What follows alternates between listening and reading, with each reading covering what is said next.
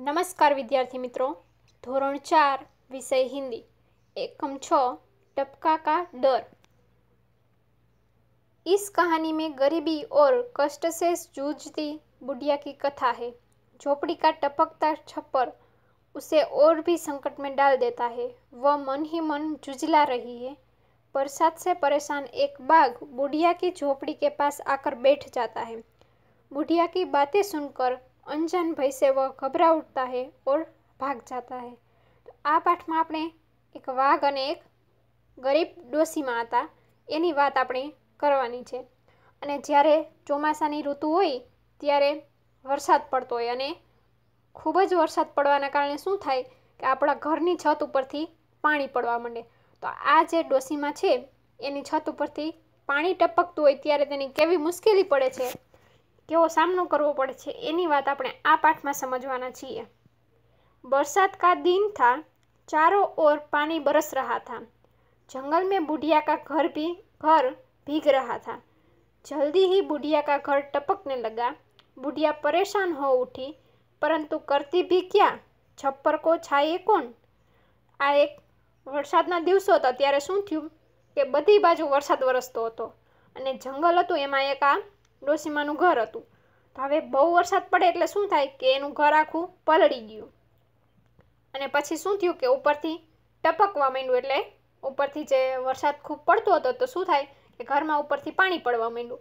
તો હવે એ બુઢિયા તો એટલે જે ડોસીમાં હતા એ તો ખૂબ પરેશાન થઈ ગયા. પણ શું કરી શકે? એ કાંઈ ન કરી શકે. છપ્પર કો છાયે કોણ? એટલે હવે એ છતને કોણ રિપેર કરી શકે? એ તો હવે ગड्ढા થઈ ગયા હતા થોડી દેર મેં ઓલે ભી પડને લગે. ઓલે એટલે શું થાય? કરા. તમે ક્યારેક સાંભળ્યું હોય કે કરા પડે છે એટલે બરફ જેવા મોટા મોટા ગાંગડા. થોડીક વાર થઈ ત્યાં તો કરા પડવા માંડ્યા. બેર બરાબર ઓલે. કેવડા કેવડા હતા? મોટા બોરા જેવડા ઓલા હતા. એટલે મોટા જે બોરા હોય એના જેવડા કરા પડતા હતા. ઉધર એક બાઘ ઓલે કી માર પરેશાન હો ઉઠા. એટલી વારમાં જે વાઘ હતો એ પણ પરેશાન થઈ ગયો. જ્યારે ઓલા કરા પડતા હતા તો એને શું કર્યું?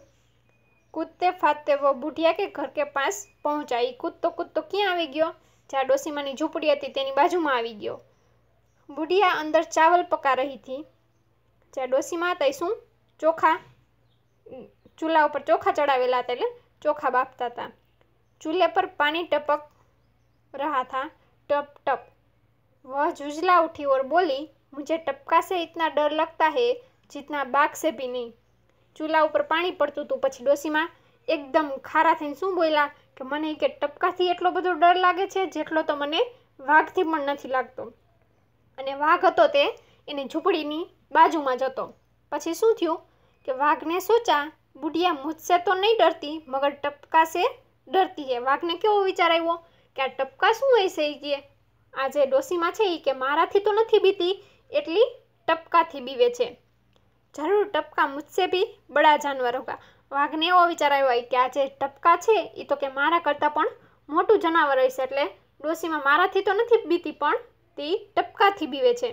બસ ઇતના સોચતે હી બાઘ ગભરાયા ઓર સિર પર પેર રખકર ભાગ ગયા. અને વાઘને આવો વિચાર આવ્યો પછી વાઘને શું થયું? એટલો જ જેવો વિચાર આવ્યો પછી એ તો સિર પર પેર રાખી એટલે ખૂબ જ ઝડપથી અહીંયાથી ભાગી ગયો. નહીંતર વાઘને એમ થયું કે આ મારા કરતાં પણ મોટું પ્રાણી છે આવશે તો મને પણ ખાઈ જશે. હવે એના શબ્દાર્થ આપણે જોઈએ. પરેશાન એટલે શું થાય? હેરાન. છપ્પર એટલે છત. ઓલે એટલે એને ગુજરાતીમાં શું કહેવાય? કરા.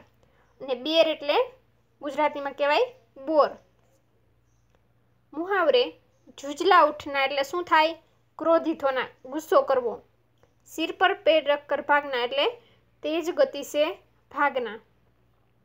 હવે એના નીચે અભ્યાસ આપેલો છે અને સ્વાધ્યાય આપેલું છે.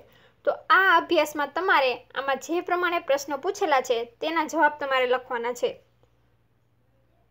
અને આ જે શબ્દાર્થ છે,